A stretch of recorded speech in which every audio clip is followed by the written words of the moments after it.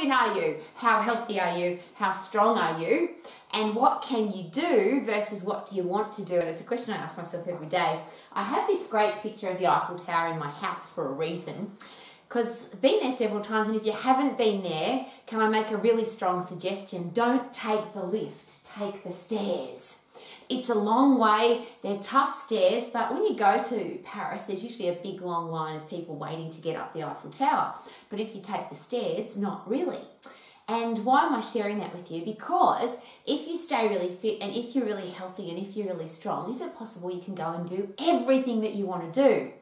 The reverse of that, if you're not fit, if you're not strong, if you're not healthy, what would your limitations be? And one of the things I always ask when it comes to the human body, and it's an interesting, just an interesting question, uh, would you ever miss brushing your teeth?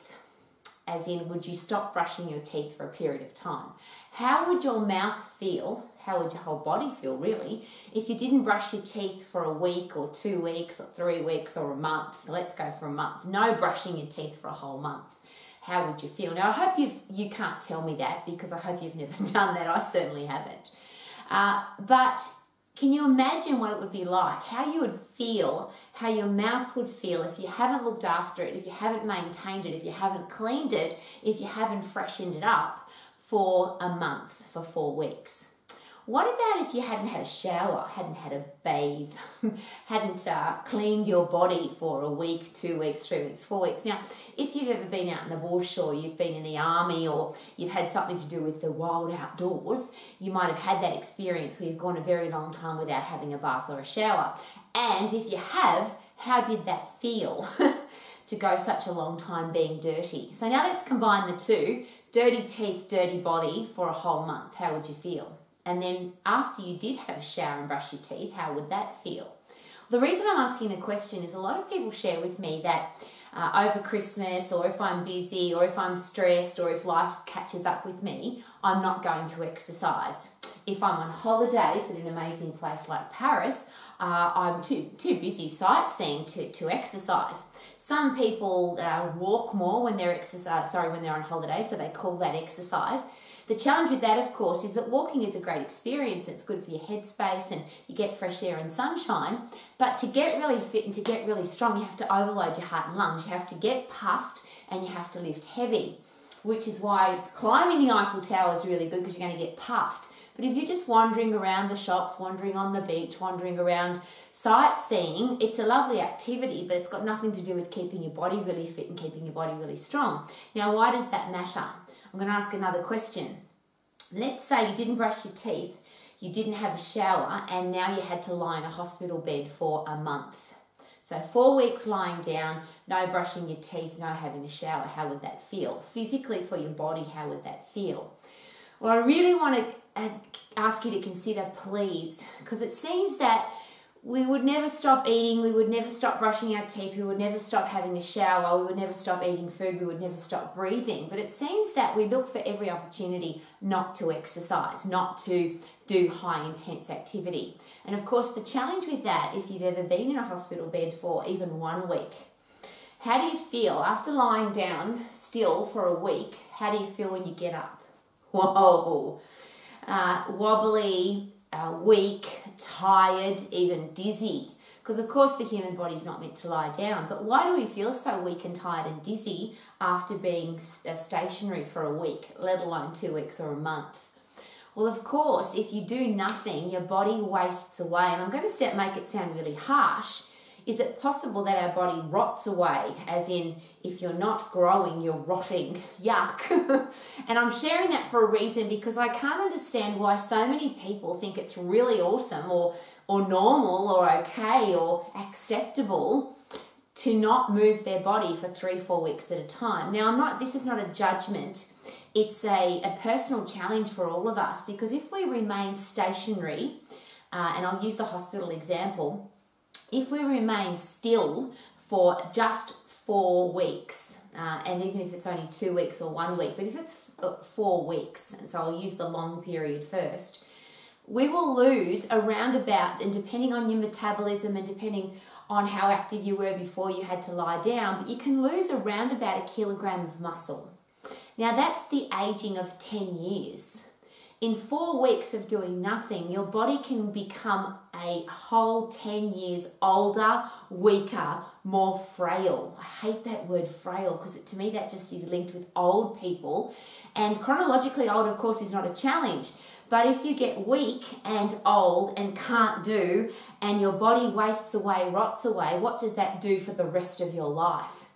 Uh, is it possible that over Christmas, for example, if you have three, four weeks holiday and you don't do any exercise and you eat a whole stack of food and you drink a whole heap of alcohol, that you can come back after your holiday and your body is really a mess? Now you've got to recover from that mess, so you have to fix the mess that you made, and then you have to uh, and for me, it's about con- uh, consistently, regularly getting fitter and stronger and healthier as you get older. Now, I'll, I'll take all of that away if you're on holidays, would you still brush your teeth or do you still brush your teeth? Do you still have a shower? Do you still eat food? Do you still wear clothes? Do you still breathe air? Of course, they're all normal parts of life. So, why is it that it seems so normal, so acceptable to just drop the exercise as if it's not important? And the reason I'm so passionate about this is we've got kids now in our world who are growing up with old people's diseases osteoporosis, type 2 diabetes, coronary heart disease. And I'm talking about bones that have wasted away, osteopenia, muscles that have wasted away, uh, high blood sugar levels because of uh, eating too much sugar, too much food, too much junk food, food that doesn't give them nutritional value and they're not burning that off.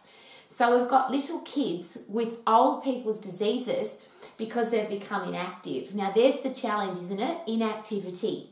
The top medical professionals in the world will share with us that inactivity is the new smoking. Not moving, being still is the biggest key, uh, killer in the world now because when you do nothing, your body wastes away, it rots away. Now, let's put that into just some simple perspective. If you don't do anything for a week, two weeks, three weeks, four weeks, yes, your muscles waste away, yes, your bones waste away. That means your metabolism slows down. So not only will you be eating more, drinking more, so putting more energy in, your body burns up less energy and you're not moving. So normally if you're exercising, you'll be burning calories faster. Uh, if you have a, a, a strong metabolism because you've got a large amount of muscle tissue, tissue or, or, bone mineral density, your body works at, at peak performance and it burns up everything you put into it. But if you do nothing and you eat a lot and you drink a lot and your muscles are wasting away, what's going to happen? Can you see why I have things like this in my house? Pictures of activity. Every time I walk past this picture of the Eiffel Tower, it reminds me of getting really puffed climbing the stairs at the Eiffel Tower. I live in an area where there's mountains everywhere, which makes me always focus on how can I move more? How can I get puffed? How can I stay fit for the rest of my life? I'm sharing all of that with you because I want our kids to grow up in a world where it's normal to be healthy, to be fit, and to be strong. And I'll rephrase what about if our kids, when we teach them to brush their teeth, because we always do that, don't we? We would never not brush our teeth. How do you feel if you don't brush your teeth for a week? Well, why don't we teach them to exercise at the same time? Uh, we teach our kids to wear clothes. Why don't we teach them at the same time that you're going to put clothes on your body? Let's do some exercise we our our kids eat food. We're really as parents, I imagine, very focused on our kids getting great food or making sure that they don't starve. But if our body's not exercising, it's almost worse than starving because everything that keeps us fit and strong and healthy and mentally strong and tough comes from being active human beings. Now, it's not about the physical activity. Of course, physical activity makes life fantastic because you can go and do all the things. You can climb mountains and do rock climbing and ride a bike and go swimming and climb the Eiffel Tower and do all sorts of stuff. But to get fit, you've got to get puffed. To get strong, you've got to overload your muscles. So it's not just about moving or being active, it's about getting high intense activity, sprinting, going as hard as you can and getting puffed so that you get really fit and that's what stair climbing's all about. That's what punching a bag's all about. That's what jump squats are all about. That's what sprinting on a bike, going as hard as you can. Get puffed. And I'll ask the question when was the last time you brushed your teeth? When was the last time you had something to eat? When was the last time you had a shower? Versus when was the last time you got puffed? And puffing keeps you fit, which means you, with, you can do everything else in your life so much better. When was the last time you overloaded every single muscle, bone, ligament, joint, and tendon in your body? If you're really strong, then you can sprint even harder, so you can get fitter. So strong people can get fitter.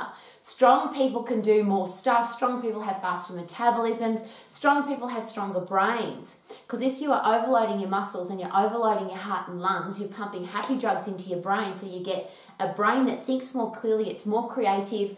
You want to go and do more things because you've got more energy. Isn't it interesting how energy creates energy? Energy creates energy. Energy creates energy. I'm so passionate about this and I wish the whole world was.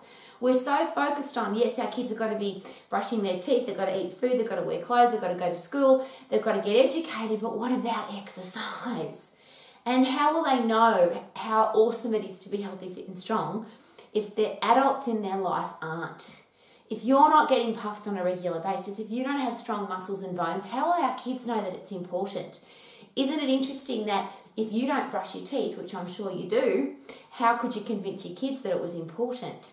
Uh, how can we convince our kids it's important to eat healthy food if we're not? How can we convince our kids it's important to exercise if we don't?